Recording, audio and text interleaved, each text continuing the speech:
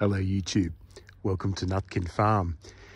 I'm doing this video in response to a recent comment on um, one of my other videos um, from a user who wanted to know how to grow a macadamia tree in their backyard.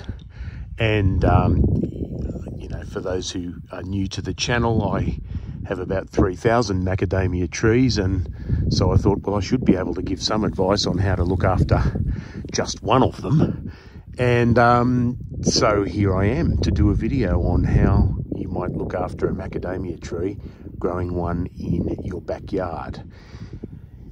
First of all, um, macadamias don't like frost, and so if your backyard is in a very cold city, um, you know, thinking Hobart or, or you know, a couple of areas that do get winter frost, you probably don't want to uh, plant a macadamia tree at all. It's going to cause you nothing but heartache uh, because you know, particularly young macadamia trees get very, very wounded by frost and quite often killed.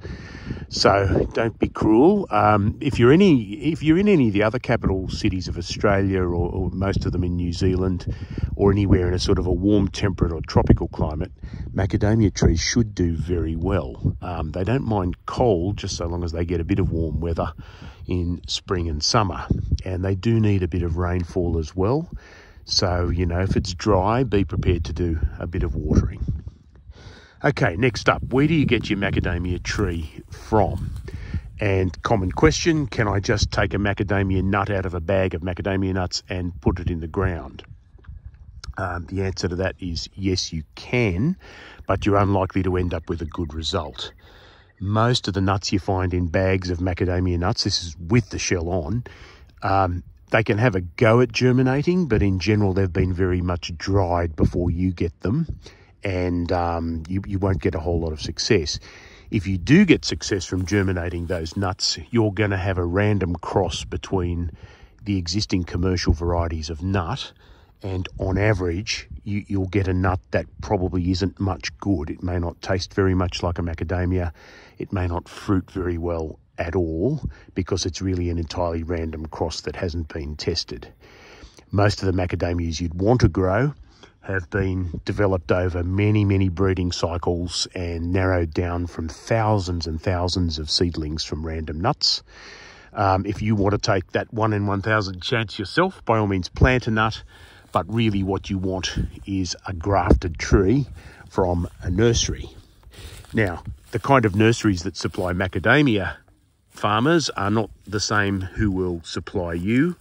You can sometimes find them on Facebook Marketplace or other sites, but uh, they, you know, there's a little bit of risk involved there. Uh, in Australia, one of the best places to go is Daly's Fruit Tree Nursery, and uh, Daly sells a number of varieties that are, um, on average, okay. Um, I've been through their varieties. They sell the ones that are in the public domain because the ones with plant breeders' rights unfortunately can't be sold to the general public.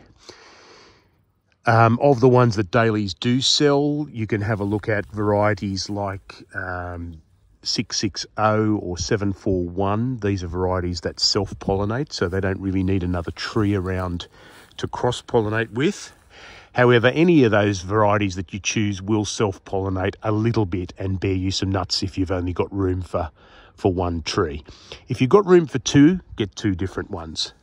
Uh, but generally, if you're just after one tree for your backyard, um, the varieties I thought that would might be the best for you would be uh, possibly um, 741, which is which they do sell. Um, it can be a fairly tall tree, but they're prunable and pretty strong and they'll give you, um, you know, a reasonably high quantity of nuts just from self-pollinating. Um, there's another little variety called Pinkalicious um, that's been specifically developed for the home market. Bit dwarfing and it has pink flowers. Um, look, I wouldn't say no to it, um, but um, don't take anything out of the, the, the Pinkalicious name. It's bred from a variety of macadamia that's probably the least delicious uh, of all the macadamias you can grow. Uh, I'm not quite sure how Pinkalicious tastes. It could be an exception to that rule, but I, I doubt it. Um, really depends on the space you've got. But then what you'll get is a grafted tree, and a grafted tree looks a little bit like this one that's just been planted. Uh, this one's about three foot high. You might get them a little smaller from Daly's. Uh, there's the graft at the bottom with that black tape around it, and there's the main tree up the top. Now, as to planting the macadamia in your backyard, I've already done a video on that, so I'm not going to repeat myself. But there's a picture of a freshly planted macadamia with a bit of pelletized um, uh, chook manure uh, fertilizing it and a bit of Osmocote.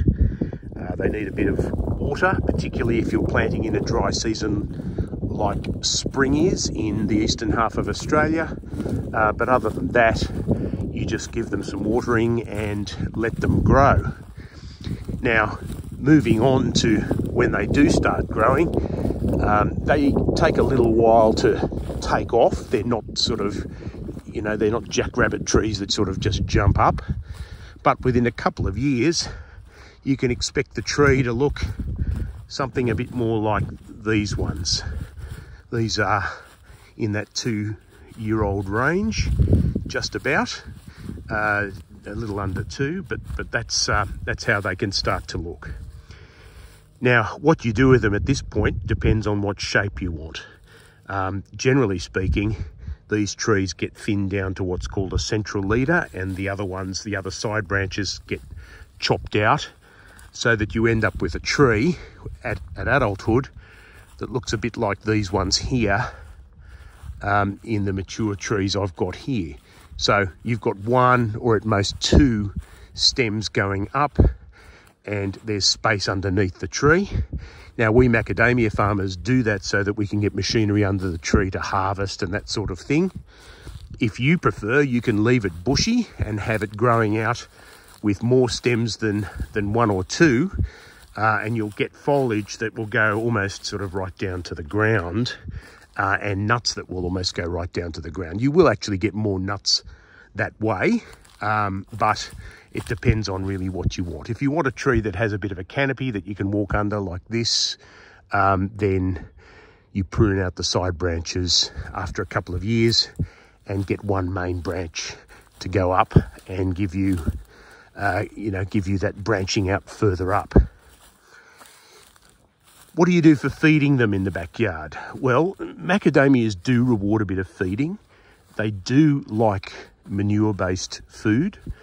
Um, you can, in my opinion, get away with things like Osmocote um, if you want to feed Osmocote, but they're fairly heavy feeders, these trees, and so they'll reward a good bit of feeding. They love mulch around their roots, so if you can give them some mulch, particularly near the stem, uh, sugarcane mulch is a good one. Lucerne mulch is wonderful if you can afford it. Um, these are sorts of things that the tree roots, which hang fairly close to the trunk, um, they'll they'll reward you because you know they they love feeding on mulch and decaying organic matter. Even grass clippings don't necessarily throw fresh green grass clippings on the trees, but if you have some dried old grass clippings, that's lovely mulch to put around the base of the tree as well. So they're not like citrus trees, they're not like fruits. So, you know, the tree you see on top isn't mirrored by an equal root system underneath. The roots are actually fairly small and compact. They're not invasive. It's not a rubber tree. It's not anything like that where, where sort of the roots will go under your pathways and push everything up. So it's actually not a bad backyard tree. Um, once it does get big, um, you can prune it to size.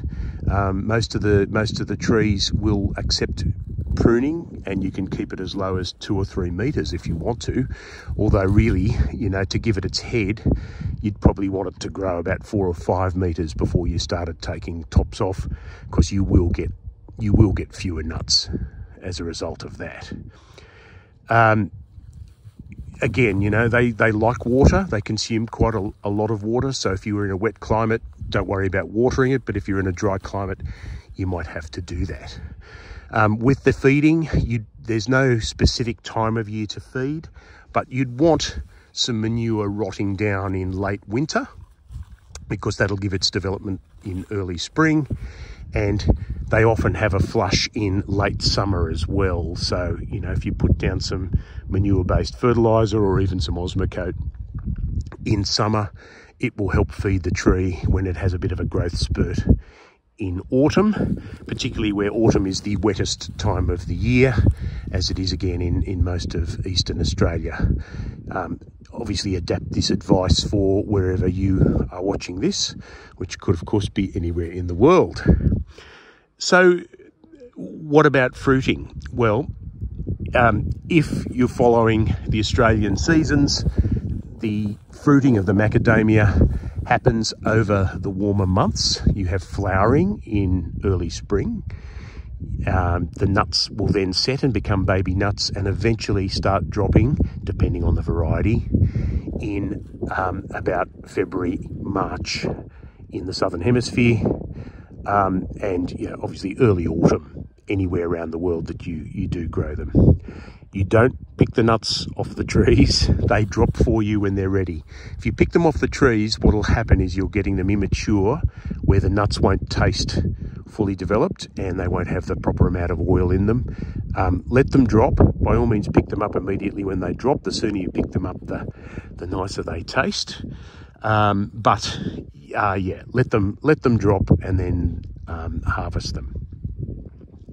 Now, in a home situation, unlike in a farm where we have to spray for pests that go from tree to tree, so long as there aren't many other macadamia trees around, your tree shouldn't be too bothered by pests. Um, you will occasionally get the odd aphid or that sort of thing. The tree can handle those sorts of pests pretty well by itself. Um, if it picks up any other pests, well, unfortunately, in terms of what's available for uh, consumers, there isn't much you can do if, if some pests start to attack the tree. Um, there may, at the you know, at the time of making this video, you may be able to get access to a, a Confidor like um, chemical, which you can put in as a tablet at the base of the plant. And if anything's eating the leaves, it will probably hamper, if not kill it. Other than that, though, you shouldn't need to budget for any pest control um, on the average sort of solo macadamia tree. Um, if you do have rats in the neighbourhood, bear in mind that the rat is the only animal with teeth sharp enough to get straight through um, a macadamia shell and rats love macadamias. So think twice about planting in a, in a, a ratty district uh, or, you know, the solution other than that is pick up nuts regularly when they drop so that there's nothing for the rats to pick off the ground. Um, and that can be, uh, yeah, that can be your best defence. And then you won't, you won't have rats coming to your macadamia tree thinking it's, um, thinking it's Christmas. If you do see little nuts on the ground with small holes eaten out of them, that, that is a sign of a rat. And uh, they only eat a they only eat a little bit of the shell, so they can get the nut out with their clever teeth um, and uh, and not spend too much energy doing it. Other than that, though, you know, you pick up a few nuts in autumn. Um, they drop over a you know a few months usually, and um, you can watch them grow. You can get them out of their husk and there are plenty of other YouTube videos on how to cook them, um, how to roast them, and, and do all sorts of other nice things, which is, of course, why we grow macadamia in the first place. Now, as you can see, the mature macadamia tree is good for shade. It's actually quite a pretty tree as well, I think. It, well, maybe I'm biased. I, I see too many of them, but I still think they're quite a quite a pretty tree to have and, very much an Australian native look. Um, in flower, they are absolutely gorgeous, um, very much the rival of the wattles and other spring flowering trees that you see in people's gardens. So you have that to look forward to, but be prepared to wait a few years before they really start flowering and putting on a show for you. Um, do I recommend growing them in the backyard? Yes, I do. I think they're a, I think they're a good tree. Um, they should be relatively trouble free. You know, they will reward feeding. They will reward mulching.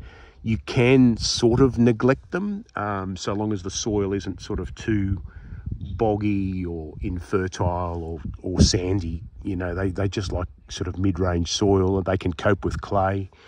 Um, and um, yeah, you've got, you know, the potential for a really nice, low maintenance, thoroughly Australian tree in your backyard. So, there's my tips on growing the macadamia in your own backyard. Uh, if anyone else has any um, tricks or tips for growing that backyard macadamia, love to hear from you in the comments section below. That way we can all learn something. Thanks for watching, guys. Bye for now.